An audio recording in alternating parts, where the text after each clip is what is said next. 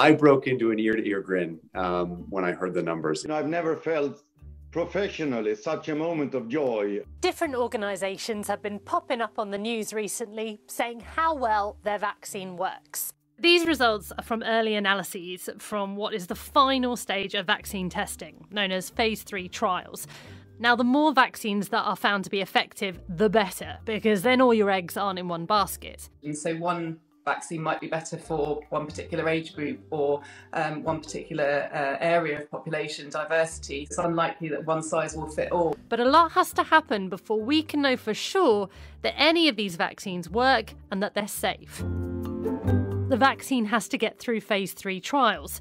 Then, in countries such as the UK, an independent group of scientists reviews all the data on this vaccine. It then has to be approved by regulators, who again are independent from governments in many countries. The same high standards of safety, of effectiveness, and quality will apply whatever vaccine candidate comes to us. There is absolutely no chance that we will compromise on standards of safety or effectiveness. When will all this happen? Well, some scientists hope it could be as soon as Christmas 2020, but others think it will take much longer. Then the vaccine needs to be manufactured. In order to speed things up, many of the leading vaccines are already being created on a mass scale. That's in case they pass all the checks and they need to be deployed as soon as possible.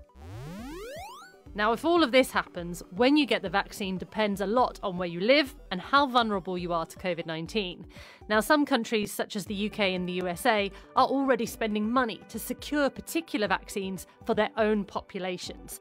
It's not set in stone who gets the vaccine first, because it's not yet clear how the vaccine works on different groups of people. But the initial thinking is the older you are, the sooner you'll get it. Meanwhile, the World Health Organization is helping to make sure all countries have equal access to a vaccine, no matter who discovers it or how much money they're willing to pay for it.